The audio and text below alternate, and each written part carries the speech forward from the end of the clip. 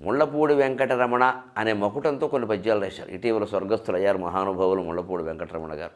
ఇక మాటల విషయంలో సాక్షాత్ చతుర్ముఖ బ్రహ్మ.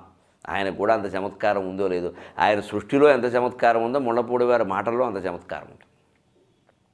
విన్నావా ముళ్ళపూడి వెంకటరమణ అని కొన్ని పద్యాలు రాశారు సరదా వ్యంగ్యం ఎలా ఉంటుందంటే తన్నులు తిని ప్రహ్లాదుడు తన్నించి నృసింహు చేత తండ్రిని చంపెన్. దీన్నే అహింస అందురు విన్నావా ముళ్ళపూడి వెంకటరమణ?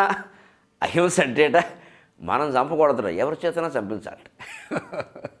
దానికి నరసింహావతారం ఉదాహరణ. తన్నులు తిని ప్రహ్లాదుడు తన్నించి నృసింహు చేత తండ్రిని చంపెన్.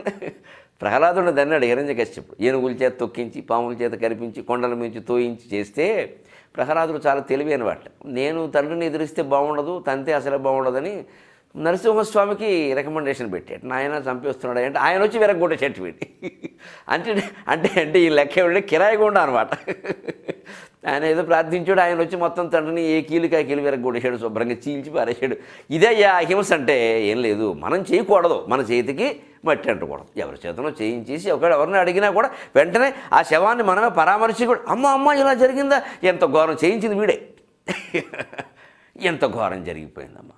అని మాట్లాడితే పాపం ఆ ఇల్లాలు కూడా ఏమిటో ఈయనకేం పాత్ర లేదేమో అనుకుంటుంది. లేదు అసలు మొత్తం పాత్ర అయింది ఇది తెలివైనటువంటి వాళ్ళు రాజకీయ నాయకులు రౌడీలు గూండాలు రౌడీలను గూండాలని ఉపయోగించి చేసే మార్గం వాళ్ళ చేతికి మట్టి అంటకుండా వాళ్ళ మీద కేసు రాకుండా హాయిగా వాడిని వేయించేసి నెమ్మదిగా వచ్చి మహాత్మా గాంధీ స్థాయిలో వచ్చి పరామర్శ చేస్తారు. శాంతియే మాకు సాధనం అన్నట్టు. వాళ్ళ గురించి చెప్పారు సరదాగా తన్నులు తిని ప్రహ్లాదుడు తన్నించి నృసింహు చేత తండ్రిని చంపెన్. తాను తిన్నప్పటికీ నరసింహస్వామి చేత తన్నించాడు తాను తినకుండా.